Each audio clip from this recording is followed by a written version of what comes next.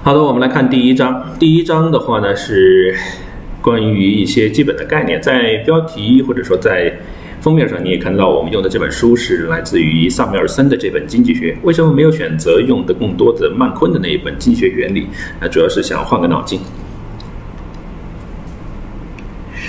好的，首先是问为什么你想学这个？书本上给出了三个答案，比如说有人说我为了想挣钱，有人说我如果不学这个，那么在现在社会就是一个文盲，还有一种呢就是可能是出于某种兴趣啊，比如说我每天看报纸、看电视，我看到了很多关于经济方面的一些问题，我可能对这个东西想要有更深入的一些学习。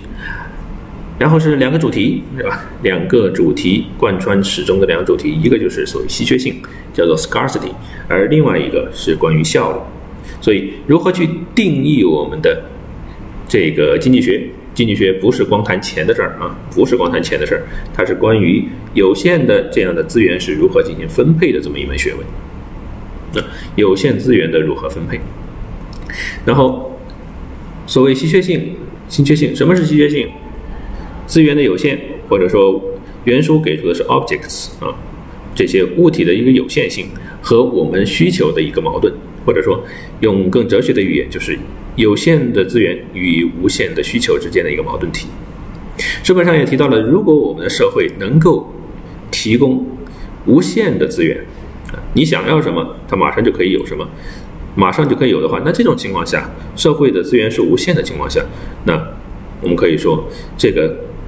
这个学问就不存在了，这个学科就不存在了，因为它前提就是社会无法提供无尽的、无尽、无尽的资源。再来，什么是什么是所谓的有效性呢？有效性就是说，你这些资源能够来满足人的某种需求或者是某种愿望的这么一种能力，能够满足，那么就是有效；满足不了，就不是有效的。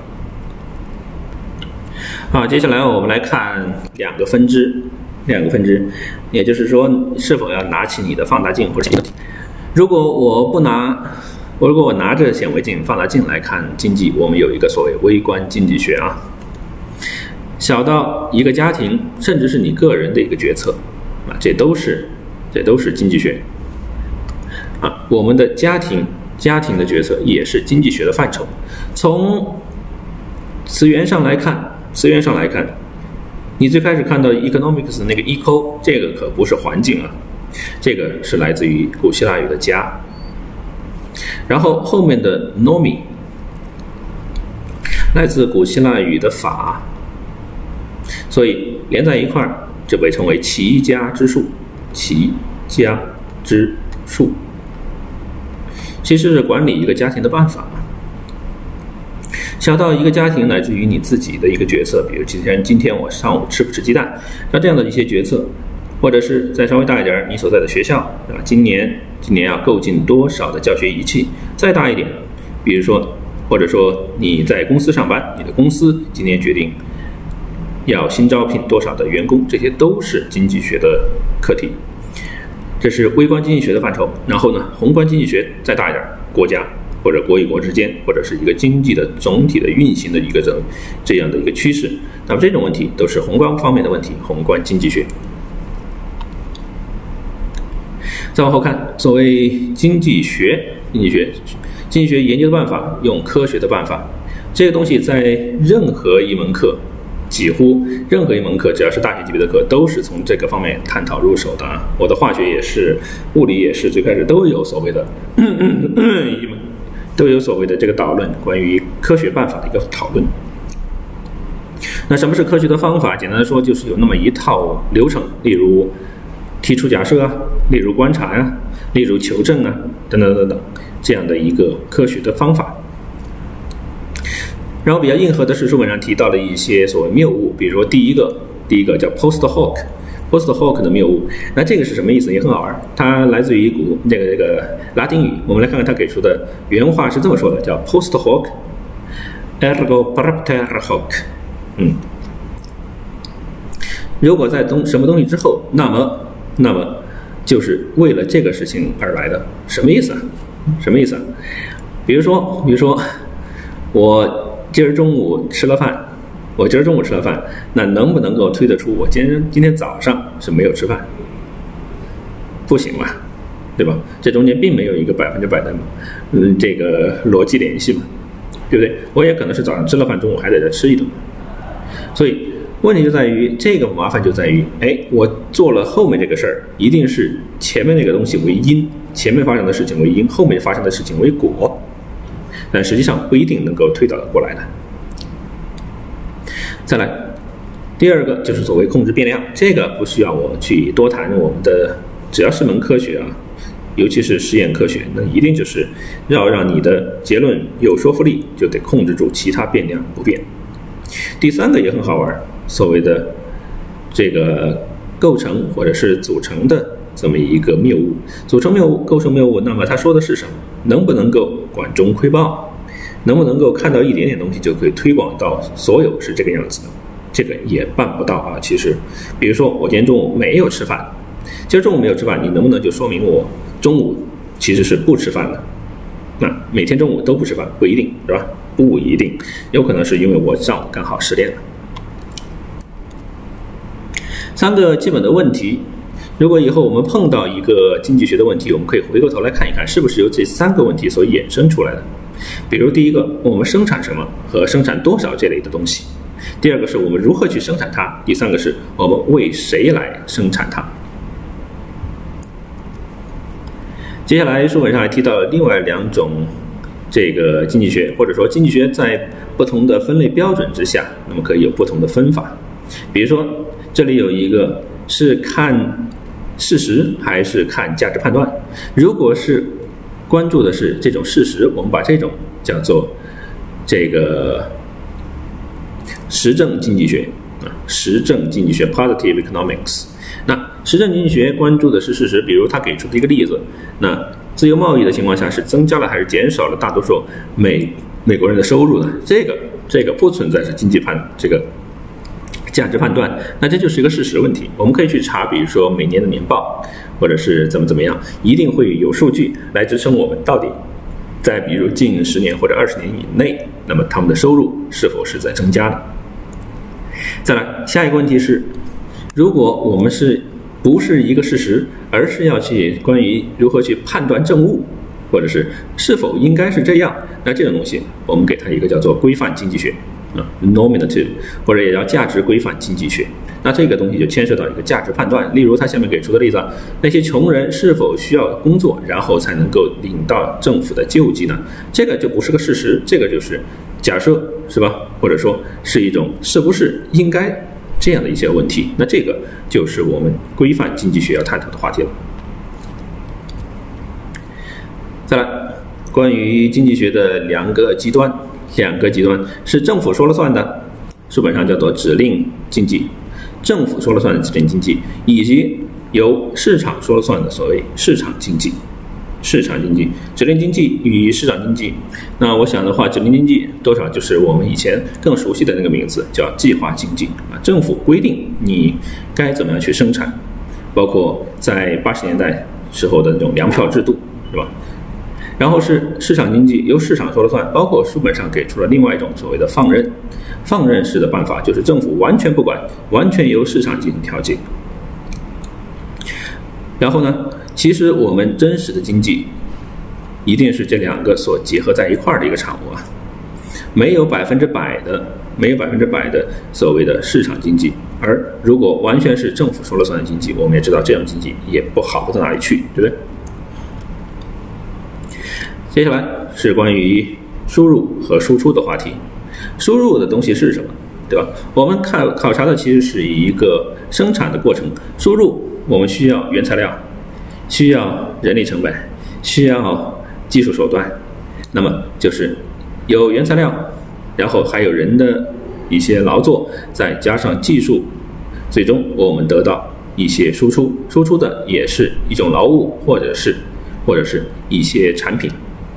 而这些输入的所谓的输入呢，包括了些什么？三个生产要素啊。如果你学过一点马克思主义政治经济学的话，这些东西应该是你很熟悉的东西。比如土地，或者更广义的说是自然资源。土地、自然资源，接下来劳务是吧？工人的劳动，以及资本。资本就包括了资本家们提供的，例如厂房啊，例如这些生产的设备。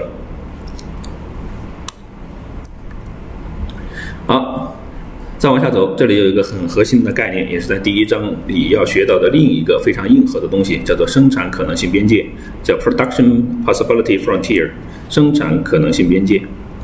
那什么意思？啊，这是一个非常经典的这个例子，就是大炮和黄油这两个东西的话，一个是民生的黄油，一个是军事的大炮，两者的话，他们。都要占用社会资源，那我到底是应该生产哪一个？那下面给出了一些可能性，比如说，如果我一点黄油都不增加，都不生产，那我可以造十五，这里不是十五门，这里是所谓一万五千门啊，一万五千门的炮。而如果是我生产，这里是百万磅，一百万磅的黄油，那么就要将一部分的生产资源从生产枪炮。生产大炮移到我的黄油上去，所以这边生产的量就少了。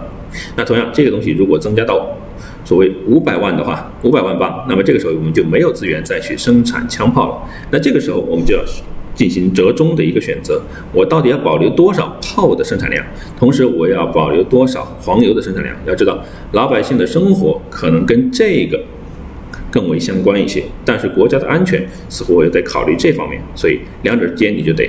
平衡一下，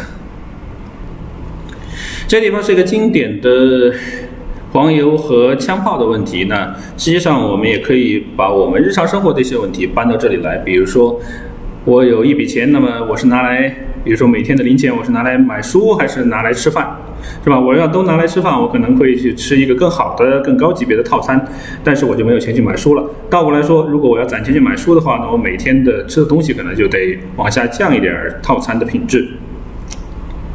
但你会发现，这样的比较或者说这样的一个决策，仍然是基于什么？我们的钱是一定的，对吧？如果我特别特别的有钱，钱不是问题的话，我仍然可以保证，我既可以买很多很多的书，任何书我都可以买，同时同时我还可以保证我吃最高级的套餐。所以我们说，这样的一个决策，其实还是源于我们最基本的，哎，我的资源是有限，同时我要怎么样去分配我的资源的问题，对吧？接下来我们要做的就是把这些点连起来。如果我们以枪炮的数量为一根轴，把黄油的数量为另外一根轴的话，我们就可以将这些点连起来。当然，我得说的是，这个呃这幅图并不是配刚才的这个表啊，我并没有下载这本书的电子版，我只是随意从这个 Google 上面找到的图，因为这种东西实在是太遍地都是了啊，你随便一找就有很多这方面的图。然后我们画出来的这条曲线是吧？把这些点都连起来之后，连成的这条曲线，这条曲线就被称为生产可能性边界，所谓的 production possibility frontier，生产可能性的边界。然后呢，我们就要知道，在这上面的点，在这个上面的点，就是这些所谓的有效率的点。这个时候是把我们的生产生产效率是发挥到最大啊。而在这一条曲线之外的点，比如这里的 X 点，这个是我们现在这个生产条件之下所达不到的啊。我们做不到这么多的枪炮和这么多的黄油同时能被生产出来。然后是两个极端，你要知道，比如这个地方，当我们把所有的资源都拿来生产枪炮的时候，这是我们能生产最大量的枪炮的地方。而如果我们把所有的资源都倾泻到了我们的黄油上面，我们能得到的黄油量是这么大。接下来，这个是我们偷懒的时候的情况，是吧？我们并没有把所有的资源都利用上。那么这个就被称为一种无效的或者是效率低的情况。如果是效率足够高，我们是应该能够落在边界上；如果效率不够，在里面效率达不到，或者说生产可能性达不到，那么就落在了外头。然后我们会说，哎，有没有可能？有没有可能再提高一些效率，使它达得到呢？这是有可能的。比如说，比如说，我们可以有技术上的革新。所以这里还有这幅图的一些其他的变化，例如我们这个线是可以向外推的。例如像这一个，它这里有个说老的技术和新的技术，当新技术引用了之后，你会发现我生产的枪炮的数量增加了。当我把所有的资源都放在枪炮上的时候，你会发现枪炮这一端量比起原来要增加。而我把所有的资源都倾泻在我的黄油上来说，黄油还是能生产这么多。换句话来说，这个新技术是生产枪炮的新技术，不是生产黄油的。黄油的生产能力仍然跟原来保持了一样。好，这是如果我们的所谓这个新技术的引用会带来的影响。然后这个地方是另外一个例子，是吧？生产 DVD 机和生产这个 MP3 的一个情况。那这一次，这一次显然，如果我把所有的技术或者说所有的生产资料都是放入到或者投入到我的生产 MP3 上来说，你会发现 MP3 的量比起原来来说增加了一块，对不对？这条线往这边走了。但是如果我仍然是放在生产 DVD，发现 DVD 还是生产这么多。换句话来说，这个技术。这个技术导致的只是生产 MP3 的这一块增加，但是已经能够使这条曲线发生变化了。总体来说，在这条曲线以内的区域增加了，所以这个社会应该说是整体来说的产能是增大了。还有没有可能两边都增加呢？也有可能，对吧？也有可能。你比如说我们的教育，比如说我们提高了。工人们的教育程度，那么这个受教育程度一旦提高之后，这个工人可能既可以生产这个，也可以生产那个，是吧？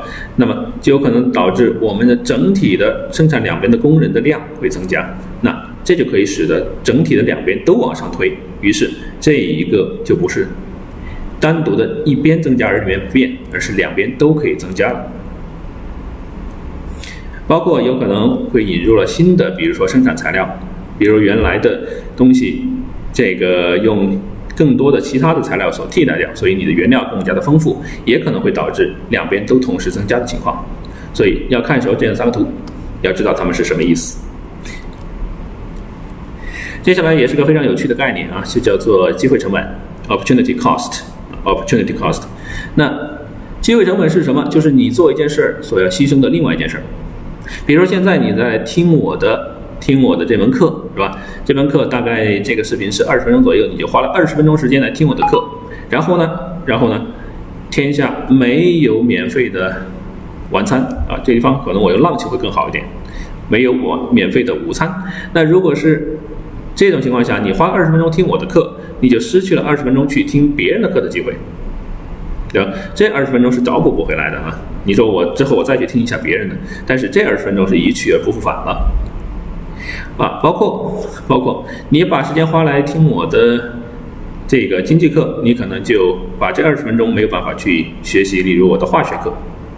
所以，永远都是你在做一件事情的同时，你在失去做另外一件事情的可能性，而另外一件事情就是这件事情你在做这件事情的所谓机会成本。这个东西你可以一直列下去，是吧？我在学经济学的同时，我就没办法去，例如谈恋爱，我就没办法去锻炼身体，我就没有办法去听音乐，我就没有办法去怎么怎么样。那么，谈恋爱、锻炼身体、听音乐这些东西，通通通通都是学这个东西的所谓机会成本。所以，聪明人是什么？聪明人是在于，哎，我应该怎么样去平衡呢？我到底应该学什么才是对我来说可能最有效或者是最有利的呢？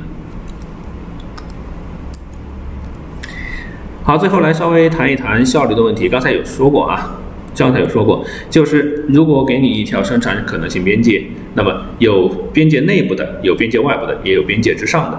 要知道，边界外部的，这是我们达不到的，是吧？目前的水平，我们最多只能达到边界上这样的一种生产的一个量。那落在边界上面的，就是有效率啊；落在边界里面的，就是没有什么效率，说明还有一些能量。文明可以生产更多的东西的，你没有把它投入到生产里面去啊，没有投入到生产里面去。不过一个有趣味的话题就是，是不是我们永远都要去追求这个呢？